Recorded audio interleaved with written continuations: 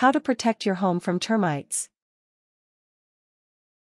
Termites are insects who live below ground in colonies and like to eat dead plants, trees, and wood. To a homeowner, an infestation of termites could be devastating, causing thousands of dollars in property damage. There are two main types of termite. The subterranean termite usually lives underground in soil, while the drywood termite finds its home in wood and furniture. Both of these termites can destroy your home, but if you take the correct measures you can eradicate the termites you have and prevent them from coming back in the future. Method 1 Identifying a termite infestation. 1. Look for dead termites, termite wings, or termite droppings. These signs are a dead giveaway that you have a termite infestation. Termites are similar in appearance to winged ants. Unlike ants however, termites often shed their wings. Termites will leave worm-like mud tunnels that are visible on the surface of walls within your house. These tunnels are used to protect worker termites. To determine if it's an ant or a termite, look at its antennae. If they are bent, this is a sign you have flying ants. If they are straight then they are termites. 2. Examine wood in your house for small holes or sawdust-like matter.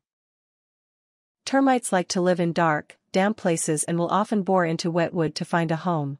Look for sawdust-like material around any holes or cracks around your house. The sawdust-like matter is known as frass, which is a form of termite excrement. Probe the small holes with a pin or other thin object to see if you can locate an exit hole for the termites. 3. Look for paint that has bubbled or cracked.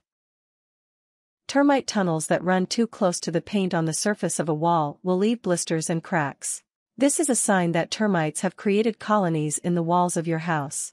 Common places to look include your door, window frames, trim, perimeter, walls, and baseboards, especially if your house is constructed of wood.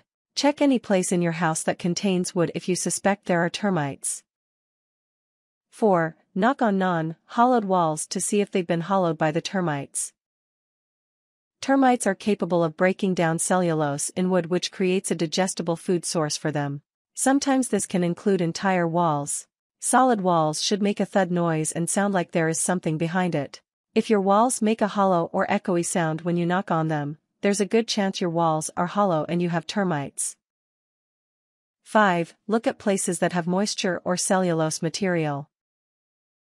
Termites are attracted to wet wood, whether it be a part of your house or a wood pile next to your property. These are the most likely places you'll find termites, so examine these areas of your property carefully. Leaking pipes over wood flooring make a perfect breeding ground for termites. Recycle leftover wood after you landscape to prevent your property from attracting termites. Method 2 Eliminating the termites. 1. Create a barrier around your house using liquid termiticide treatment. A termiticide treatment will not only kill termites in the ground, but will protect your house from any termites trying to burrow into it. Create a trench around your house, then spray termiticide in a perimeter around your house, in the trench, which will create a natural barrier. This treatment is a lot easier to perform when you are building a new house. Trenching may be necessary if your house is already built. 2. Use a termite bait to poison the entire colony of termites. Termite bait is a poison that slowly acts to kill termites. It also spreads the poison around the colony to eradicate the infestation. Place the baits in a perimeter around your house, each bait being 10, 12 feet apart. Add additional baits in areas where there is high termite activity. Termite baits are made of cardboard, paper, or other cellulose material, with a lethal poison for termites. You can use either above or below ground baits. 3. Use nematodes to kill the termite colony. Nematodes are roundworms that can kill termites.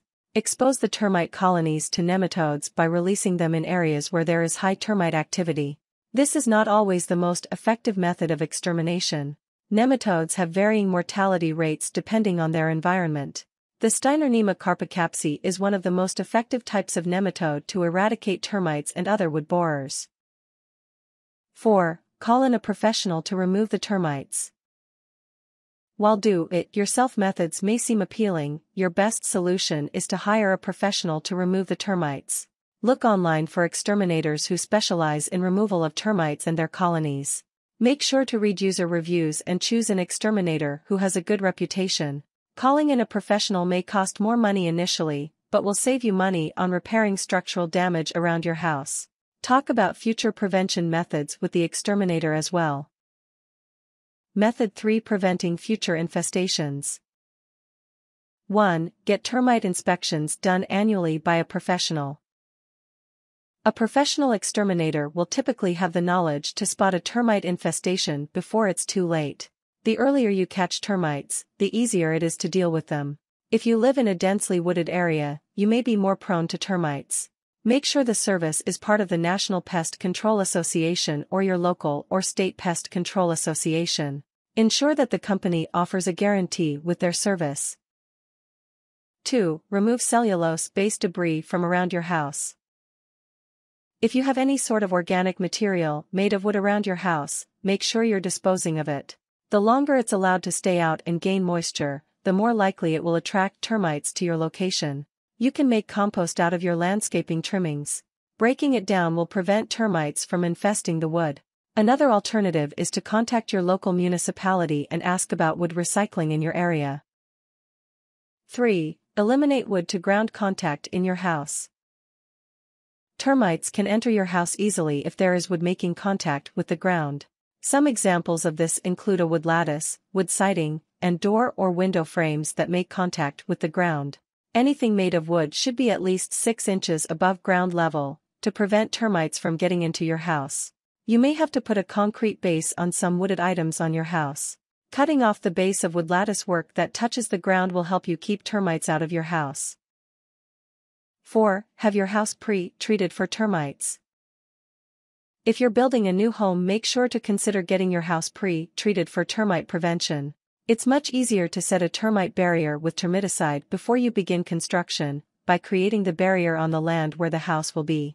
If you live in the southwest of the US, you should highly consider this option, as this is where most termites are found.